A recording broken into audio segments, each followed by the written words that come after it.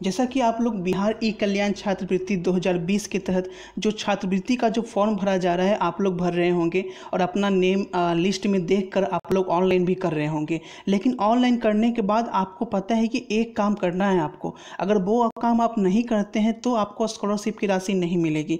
तो बिल्कुल ध्यान से देखिएगा कि ऑनलाइन से लेकर बैंक डिटेल्स तक अगर एक आप ज़ीरो भी मिस्टेक कर देते हैं, थोड़ी सी भी मिस्टेक करते हैं, जो कि आप आम भाषा में बोल सकते हैं, ये कोई गलती है क्या? लेकिन आपके बिहार बोर्ड की नज़र में वो गलती है। अगर आप वो मिस्टेक करते हैं तो आपको छात्रवृत्ति की राशि रोक दी जाएगी और आपको पता भी नहीं चलेगा कि आपका पैसा क्यों नहीं आया। और बहुत लोग ऐसा करते भी हैं जिनका पैसा 2019 में भी नहीं आ पाया है। ठीक है? तो ये चीज़ आप मत करना तो अभी आपको बैंक में पैसा आ पाएगा। तो बिल्कुल पूरी वीडियो ध्यान से देखना। स्किप करके देखोगे तो आपका ही नुकसान होगा, क्योंकि एक बार जो ये पैसा अगर आपके बैंक में नहीं आया तो फिर कितने भी आप कल्याण विभाग ऑफ़िस दौड़ते रहो दौड़ते रहो, ठीक है, आपका पैसा नहीं आ पाएगा। तो जो आपको पैसा मिल रहा है, ये आप पे डिपेंड करता है कि आप अपना पैसा, अपना हक कैसे ले पाते हैं। तो यहाँ पे देखिए मैं पूरी सबसे पहले अगर अभी तक आप लोग चैनल को सब्सक्राइब नहीं किए हैं तो सब्सक्राइब करके बेल आइकन बजा देना, क्योंकि यहाँ पर आपको पूरी अपडेट दे दी जाती है, ठीक है? तो ताकि आपको अपडेट सारा मिल सके कि कब आपका बैंक में पैसा आपका आ जाएगा, इस पर भी जल्द अपडेट मैं दूँगा। तो सबसे पहले, लास्ट डेट से पहले आप लोग कर लीजिए। अगर वो डेट निकल जाएगा तो भी आपको पैसा नहीं मिल पाएगा।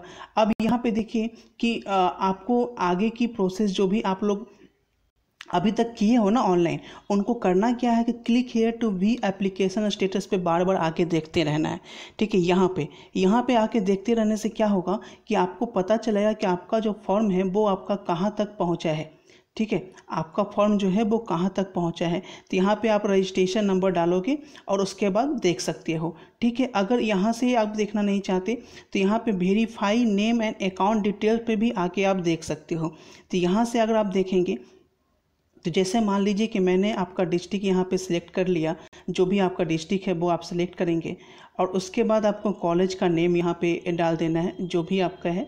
मैं एग्ज़ाम्पल ले रहा हूँ। डाउट नट बच्चों, आप किसी भी सवाल में अटक गए हो, या आपसे सॉल्व नहीं हो पा रहा है। बस आपको इस क्वेश्चन का फ़ोटो लेना है क्वेश्चन को क्रॉप करना है, पाँच सेकंड के अंदर अंदर उस क्वेश्चन का वीडियो सोल्यूशन मिल जाएगा। फिर चाहे आपका क्वेश्चन होमवर्क का हो CBSE Bihar UP Maharashtra Rajasthan MP किसी अन्य बोर्ड का हो, चाहे आई आई नीट या क्लास सिक्स से बरहमी का सवाल हो, इन सब का जवाब. डाउट नेट ऐप पर या फिर कोई भी सब्जेक्ट हो physics chemistry biology math science आपके सभी सवालों के जवाब मिलेंगे आपको. डॉट नेट पर। साथ ही. डॉट नेट पर क्लास नौवीं से बरहमी के बच्चों के लिए चल रही है इंग्लिश और हिंदी मीडियम में लाइव क्लासेस यानी आप पूरी पढ़ाई होगी. डॉट नेट ऐप पर। तीन करोड़ से ज़्यादा बच्चे. डॉट नेट ऐप पर पढ़ाई कर रहे हैं तो आप भी जाइए और डॉट ऐप को इंस्टॉल कीजिए। ले रहा हूँ।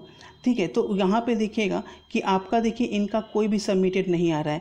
लेकिन यहाँ पे देखिए कि आरती कुमारी ने इन्होंने फॉर्म सबमिट कर दिया है और बैंक डिटेल भी यहाँ पे इन्होंने फिल कर दिया है। लेकिन यहाँ पे लिख रहा है कि अभी भी वेरिफिकेशन इनका नहीं हुआ है। वो सबमिट किया गया है, लेकिन बैंक का वेरिफिकेशन जो है वो अभी भी प्रोसेस में है। तो इस चीज़ को ध्यान में रखिएगा कि बैंक का प्रोसेस जब तक आपका वेरिफिकेशन पूरा नहीं होगा, तब तक आपको जो है स्कॉलरशिप की राशि नहीं मिलेगी। अगर वेरिफिकेशन के टाइम में आपका दिख दिया कि आपका ईरर पाया गया है तो भी आपको स्कॉलरशिप की राशि नहीं मिलेगी और आपको कोई भी बैंक डिटेल चेंज करने का ऑप्शन नहीं मिलेगा। तो यहाँ पर एक चीज़ मैं बताना चाहूँगा कि आप लोग भूल कर भी ग्रामीण बैंक का मत डालना। ग्रामीण बैंक अगर आपका है तो ग्रामीण बैंक में नहीं, कोई अदर बैंक में आप अकाउंट खुलवा कर अकाउंट तो तुरंत खुल जाता है।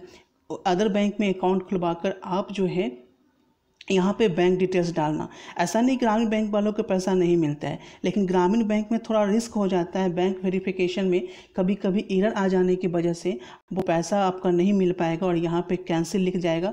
ठीक है, यहाँ पे लिख देगा नॉट सबमिटेड और फाउंड एरर ठीक है तो यहाँ पे इस चीज़ को समझ जाइएगा। उसके बाद अगर आप लोग ऑनलाइन कर लिए हैं तो ये ये तो करते ही रहना है चेक करते रहना है बार बार कि कहीं आपका यहाँ पे कुछ वेरिफिकेशन पूरा हुआ या नहीं हुआ, ठीक है, यहाँ पे देखिए सभी का अभी तक वेरिफिकेशन में ही लगा हुआ है, जो भी यहाँ पे डाले हैं, ठीक है, जो नहीं डाले तो उनका तो बात ही अलग है, जो भी यहाँ पे डाले हैं उनका देखिए बैंक वेरिफिकेशन जो है, वो अभी तक पूरा नहीं हुआ है, क्योंकि ये लास्ट डेट हो जाएगा तो अब यहाँ पे धीरे धीरे सबका अपडेट दिया जाएगा। उसके बाद आपको एक चीज़ करना है कि बहुत लोग जो हैं, ये भी काम कर रहे हैं तो मैं वो भी आपको बता देता हूँ कि नहीं नहीं करना है। देखिए, बहुत लोग कर क्या रहे हैं कि देखिए, यहाँ पे साफ़ लिखा हुआ है कि विद्यार्थियों को महाविद्यालय में किसी डॉक्यूमेंट या आवेदन की ज़रूरत नहीं है। यानी आपको किसी भी कॉलेज से हो या स्कूल से हो, ठीक, आपको कोई भी स्कूल में जाकर नहीं देना है। बहुत लोग क्या कर रहे हैं कि आप स्कूल में जाकर अप्लीकेशन दे रहे हैं, सोच रहे हैं कि हो जाएगा तो वो वैसा नहीं करना है। बिल्कुल नहीं होगा। आवेदक का आवेदन महाविद्यालय के माध्यम से स्वीकृत नहीं किया जाएगा। साफ़ साफ़ लिखा हुआ है यहाँ पे।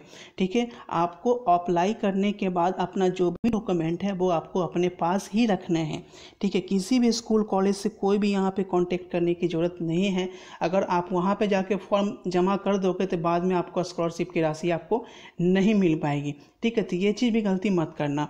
और इस चैनल पर अपडेट पाने के लिए आप सब्सक्राइब ज़रूर कर लो, क्योंकि इस पर मैं बता दूँगा कि कब आपका पैसा आ गया है अकाउंट में, नहीं आया है, कौन सा डिस्ट्रिक्ट का आ गया है नहीं आया है, सब कुछ मैं इस पर अपडेट देता रहूँगा। तो स्कॉलरशिप की पूरी अपडेट आपको पूरी चाहिए तो इस चैनल को ज़रूर सब्सक्राइब कर लेना। मिलते हैं आपसे अगले वीडियो में। Thanks for watching this video और इस वीडियो को शेयर और लाइक करना मत भूलना।